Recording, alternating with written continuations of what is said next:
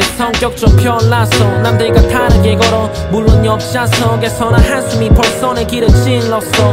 한심한 어법 그것이 내 부르지 폈고 힘없고 했던 놈이 만들어 필연적. 나의 삶은 희극이겠지. 다른 사람 눈에 비굴해 보여도 나만 좀 대체 기준은 생각해보자고. 한번 다시 머리 굴리는 중. 누가 만드는 게 아니라 스스로 정하는 것. 그 역하는 곳 밀어붙여도 앞으로 이 말을 들은 너는 펑추 얘기했지. 그런 얘기 필요 없고 하란 대로 뱉길 그 안에서 해답을 찾은 기가 차. 비유하면 김치만 있는 밑반찬 보고만 있다가 한 번 또 얘기했네. 하지만 사고가 따르니 붕 떴지 마치 비행체.